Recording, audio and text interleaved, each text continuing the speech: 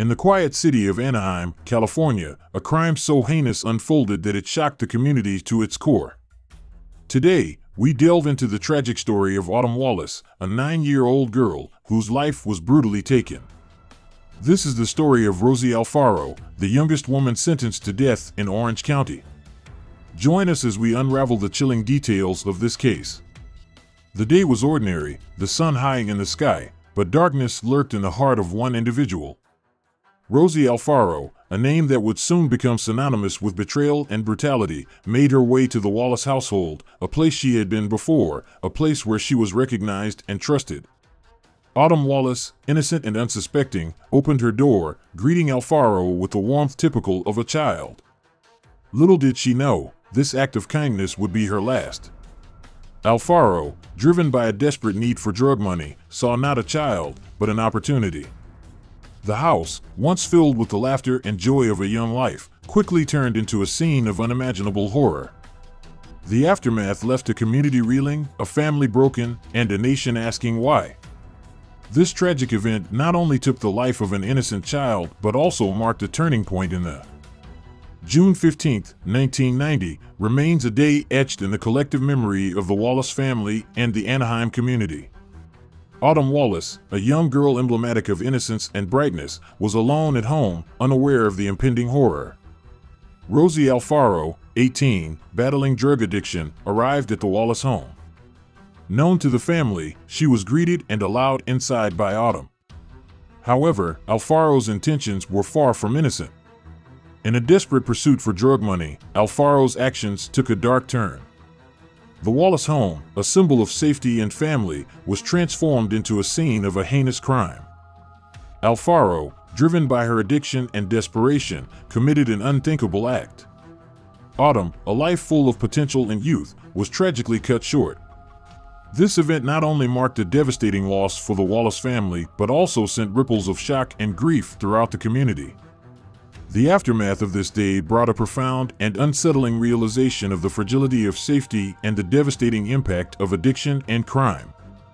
As the investigation unfolded, the details of the crime brought to light the stark realities of human vulnerability and the depths of despair that can drive individuals to commit such acts.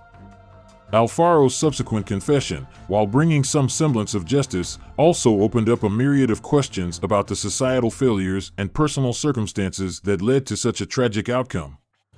The trial that followed was a focal point of media attention, drawing the public's eye to the complexities and tragedies of the human condition.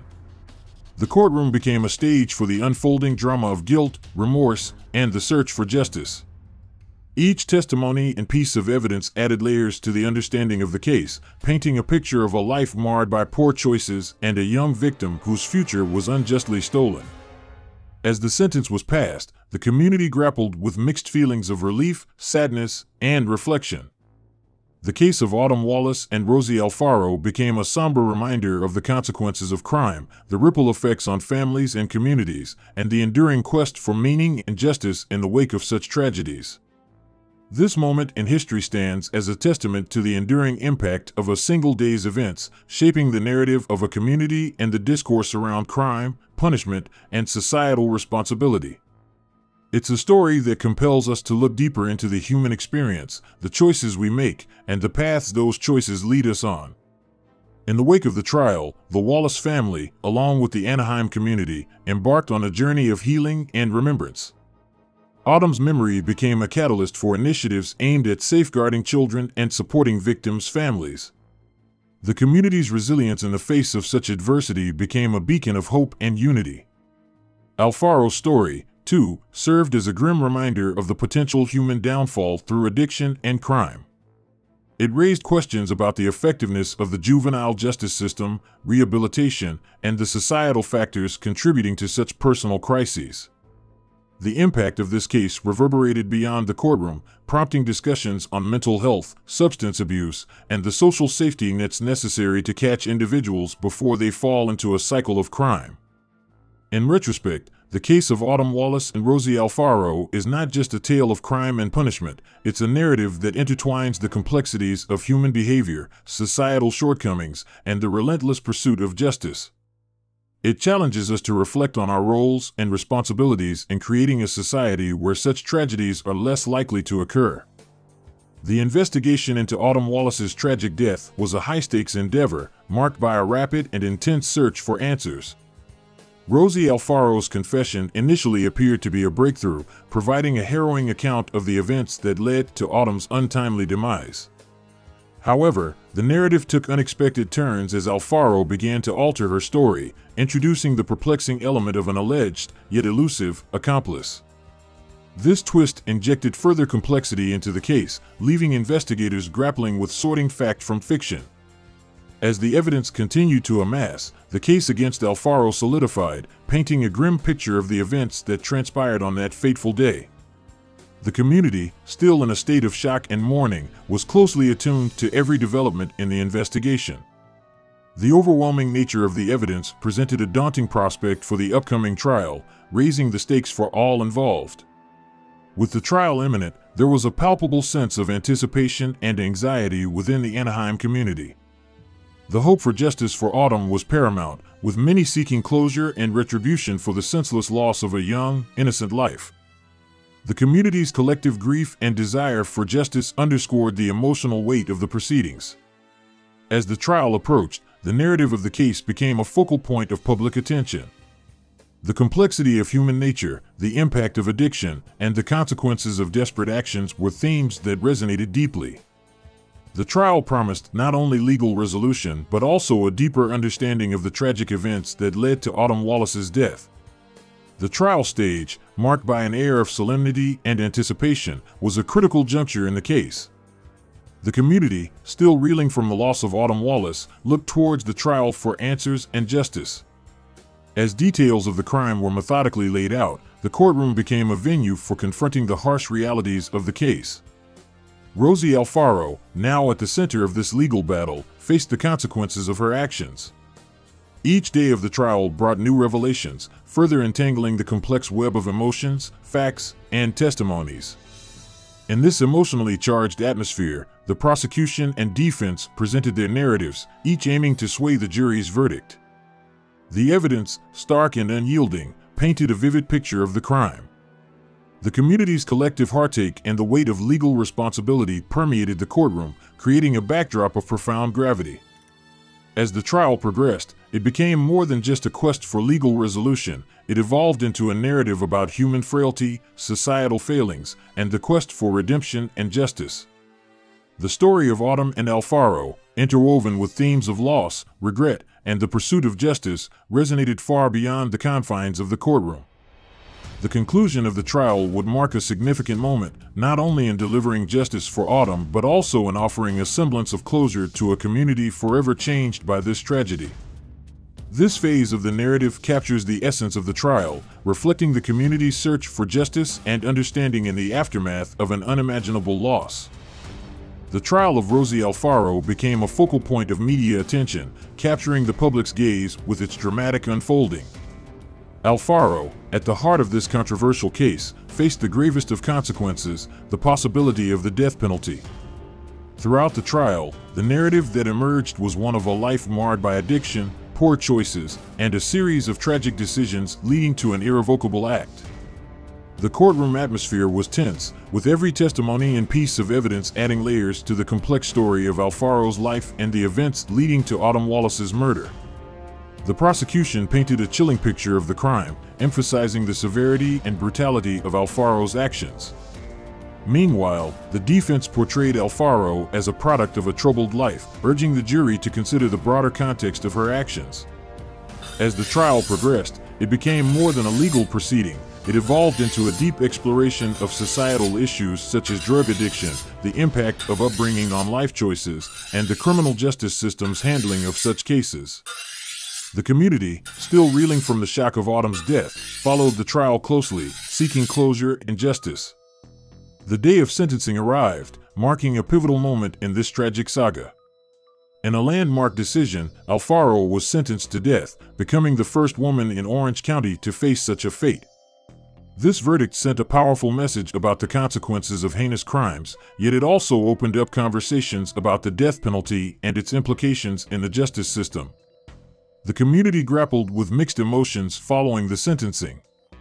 While some felt that justice had been served, others were left pondering the deeper societal issues that the case had brought to light. The tragedy of Autumn Wallace and the fate of Rosie Alfaro became a poignant reminder of the complexities of human nature, the consequences of actions, and the enduring pursuit of justice in the face of unimaginable loss. As the community absorbed the impact of Alfaro's sentencing, the case's conclusion did not signify an end to the emotional and societal reverberations. The sentencing, while providing legal closure, raised profound questions about justice, rehabilitation, and the death penalty. For some, the sentence was a necessary response to the gravity of the crime, while for others, it sparked debates on the effectiveness and morality of capital punishment. The case of Rosie Alfaro and Autumn Wallace thus transcended its immediate context, becoming a touchstone for discussions on broader societal issues. It highlighted the tragic consequences of untreated addiction, the complexities of the criminal justice system, and the enduring challenges of balancing justice, compassion, and societal protection. In the aftermath, the community sought to find ways to honor Autumn's memory and prevent such tragedies. This case remains a poignant reminder of the human cost of crime and the ongoing struggle to achieve a just and compassionate society. The tragic murder of nine year old Autumn Wallace at the hands of 18 year old Rosie Alfaro sent shockwaves through the Anaheim community. But more than just a tale of a horrific crime, this case serves as a cautionary parable underscoring the immense fragility of human morality. It lays bare how easily an ordinary day can transform into unspeakable violence through desperation and poor choices. Most disturbingly, it reveals the human capacity for inflicting harm when one feels caged by circumstances. Cast under the harsh spotlight of public scrutiny, Alfaro emerged as a composite of societal failings, an adolescent girl raised in poverty, wrestling personal demons and addiction without adequate support systems. The crime she committed, while unconscionable, can be viewed as an indictment of a system that failed to intervene at critical junctures or provide her the tools to overcome adversity. Of course, this does not excuse personal accountability for decisions made. But it does beg the question of whether different choices would have been made with proper guidance from institutions meant to nurture society's most vulnerable. Autumn's fate, too, raises difficult questions around the duty to safeguard innocence against the risk of human downfall. The community's sense of security was permanently ruptured, realizing that peril can be lurking, even in the most familiar of places. It prompted difficult self reflection on the false perception of safety, especially for the most defenseless members of society. On a deeper level, the question emerges of whether true justice can ever be served for a life cut short so early. Does the severe punishment delivered upon Alfaro restore the promise stolen from Autumn or grant solace to her grieving family? While the courts ascribed accountability, profound loss still reverberated through the community, accentuated by the senselessness of it all. Still, the justice process provided resolution that helps communities make sense of senseless acts. The desire to assign meaning and restore order to chaos explains the communal compulsion to have guilt proclaimed, sentences handed out, and punishments enforced. Out of tragedy arises a structure for coping and a path forward for healing. An indelible mark on the community's history, the case also ignited action, spurring new youth programs, victims' resources, drug prevention efforts. Autumn's memory fueled reforms across various systems aimed at filling the gaps that failed young women like Alfaro and Wallace. Tragedy bred a groundswell of compassion and social responsibility. At its core, this case will forever serve as a timeless morality tale on the rippling repercussions of crime and personal choices. It lays bare the human potential for good and evil that lies within everyone, warning of the necessity for self awareness and self mastery. On a societal level, it demands collective responsibility to shepherd those struggling on society's fringes from self destruction. This story's staying power derives not just from the horrific crime, but the relatability of those involved. Alfaro and Wallace represented two young women whose paths shockingly intersected one afternoon, leaving indelible scars across the community. Two promising lives forever impacted, one brutally shortened and another's effectively ended as well. The lessons gleaned resonate deeply. No one is impervious to life altering choices when one feels their back is against the wall. Functioning systems of rehabilitation and support are essential even in prosperous communities. And innocence lost shakes communities to their core, even decades later. With truth comes opportunity for revelation and growth. May Autumn's memory ignite individual accountability and collective compassion. For communities to heal and progress, those struggling on society's fringes cannot be cast aside, but rather seen as vital threads in the inextricable fabric of shared humanity. The saga of Rosie Alfaro and the tragic fate of Autumn Wallace is more than a crime story, it's a profound exploration of the intersection between personal choices, societal issues, and their irreversible consequences. This case brings to light the complex layers of human behavior, the devastating impact of addiction, and the rippling effects of crime on a community. As we reflect on Autumn's lost innocence and Alfaro's consequential life choices, we are reminded of the delicate balance between justice and compassion in our society.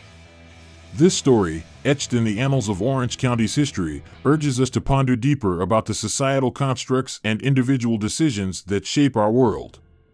It serves as a somber reminder of the importance of understanding, preventing, and healing the deeper issues that underlie such tragic events. In remembering Autumn Wallace, we acknowledge the enduring need for justice and healing, and the continuous effort to create a more empathetic and just society.